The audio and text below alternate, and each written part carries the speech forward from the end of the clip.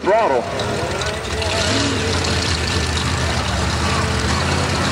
Getting ready to make his grand appearance into the one-time unlimited class.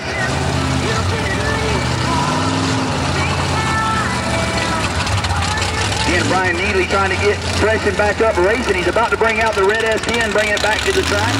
I used to call it the little red dirt devil. Pretty fast little leaf spring S10.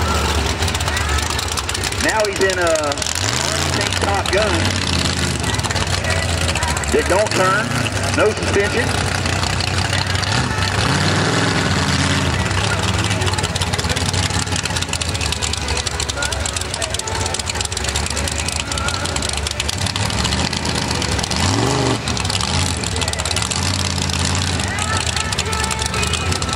All right, here we go.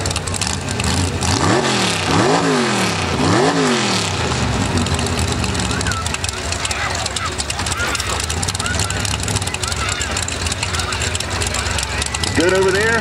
Good here. Here we go.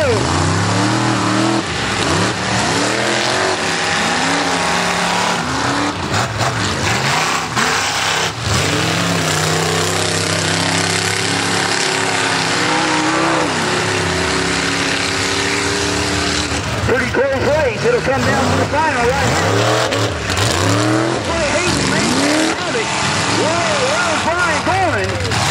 It is not on the track. I told you the thing didn't turn, and Hayden picks up the win. Brian goes for the trailer.